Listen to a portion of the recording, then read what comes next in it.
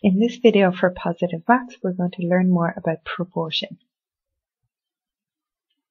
So we previously learned a little bit about something being directly proportional. So let's look at an example. The ratio of miles to kilometers is approximately 1 is to 1.6. So miles to kilometers, 1 is to 1.6. So what this is telling us then is 1 mile is equal to 1.6 kilometers. Okay, we need to calculate the following miles in kilometers and use the graph to check your answers. Alright, so the first part. From the ratio, we know that 1 mile is equal to 1.6 kilometers. So therefore, 2 miles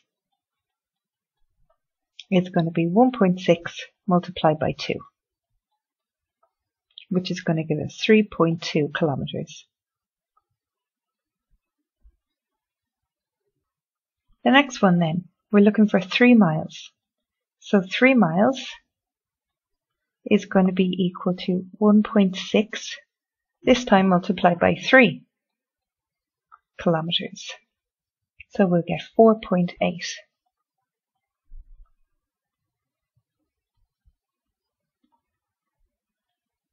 And our last one, 4 miles. So 4 miles is going to be 1.6 multiplied by 4. And we get 6.4 kilometers.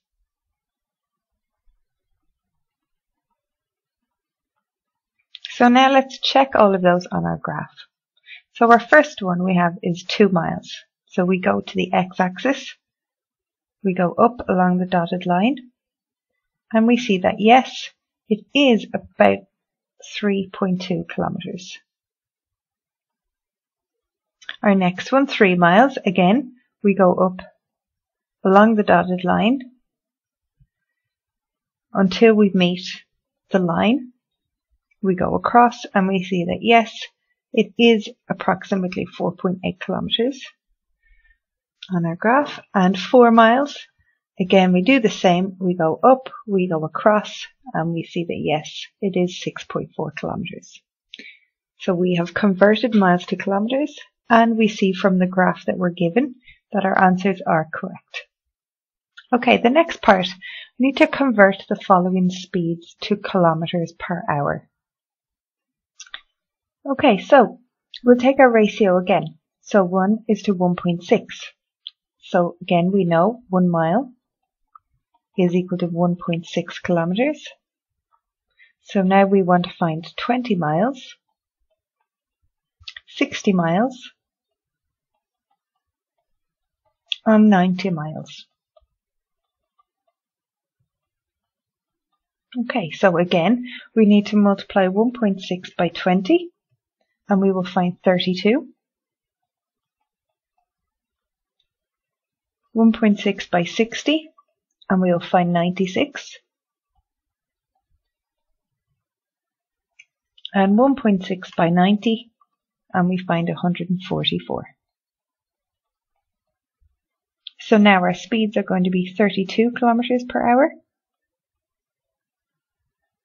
We're going to have 96 kilometers per hour and 144.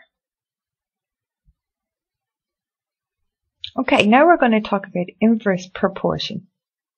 If a car travels at a speed of 25 kilometers per hour, it will take 4 hours to travel 100 kilometers. If it travels 50 kilometers per hour, it will take 2 hours to travel the same distance. Okay, so 25 kilometers per hour is 4 hours, and 50 kilometers per hour is 2 hours. So this is when we're traveling the same distance. So we see that the time taken to travel will decrease if the speed increases. Okay, so the time will decrease when the speed increases. Another example is the time taken to cook food will decrease if the temperature increases. So these are both examples of inverse proportion. So before we saw direct proportion. This was when one thing increased, so did the other. Now we're talking about inverse proportion, when one thing increases, another thing decreases. Okay, let's take an example. If it takes five builders 80 hours to build a garage, how long will it take eight builders to do the same job? So, we're going to take this problem in steps. The first thing we need to do here is find the total number of hours.